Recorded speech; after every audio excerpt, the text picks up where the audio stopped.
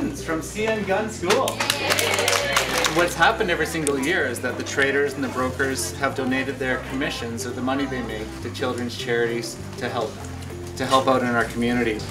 A kid's ability to read and learn in school is so important to their future success. With the library, with police services, with other community partners, it's making a difference.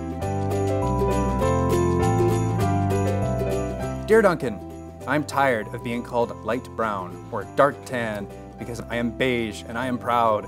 I need a break. Your very stubby friend, Blue Crayon. I believe in literacy as a fundamental skill in life. The program has allowed me to share that passion for reading with, like I said, countless kids. So I want to thank everybody here for making that possible.